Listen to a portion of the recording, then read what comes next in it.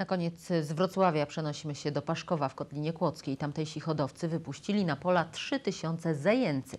W Polsce, podobnie jak w Europie, dziko żyjące zające prawie wyginęły. Trzeba więc ratować ich populację. Maciej Maciejewski. Choć to już jesień, na fermie nadal zajączki przychodzą na świat. W jednym miocie może być nawet sześć maluchów.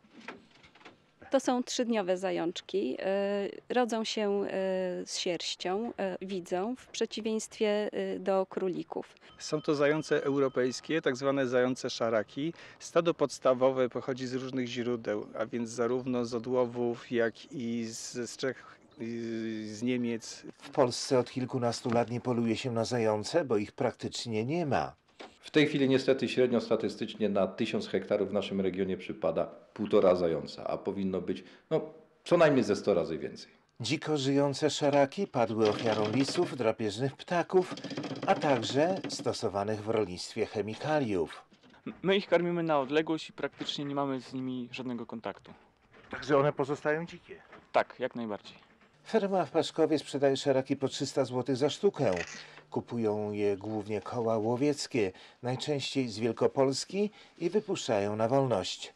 Połowę ceny zakupu refunduje Wojewódzki Fundusz Ochrony Środowiska. W tym roku kupiliśmy z hodowli w Paszkowie 75 zajęcy, plus jednego dostaliśmy gratis. Myśliwi z Wałbrzyskiego Koła Łowieckiego Knieja wszystkie zakupione szaraki wypuścili w okolicach Dobromierza.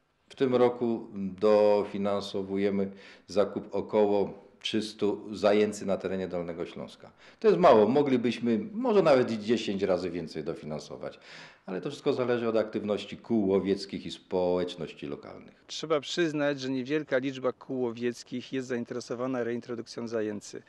Bierzemy na siebie w ich imieniu wszystkie formalności związane z reintrodukcją, a więc z całą biurokracją, ze złożeniem wniosku do Wojewódzkiego Funduszu Ochrony Środowiska, Zając jest mocno związany z kulturą, a także chociażby kulinarną tradycją Polski, nie jest szkodnikiem, no i trzeba go ratować przed wyginięciem za wszelką cenę. Paszków, Macie Maciejewski.